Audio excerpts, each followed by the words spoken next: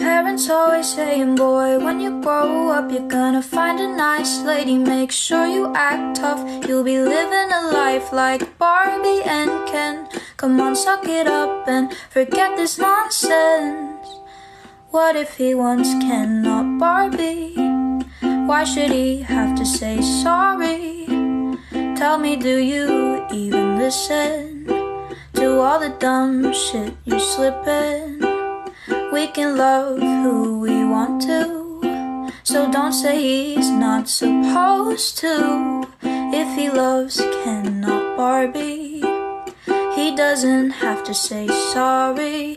No, not to you, not to me, not to anyone, anyone, anyone, not to you, not to me, not to anyone, anyone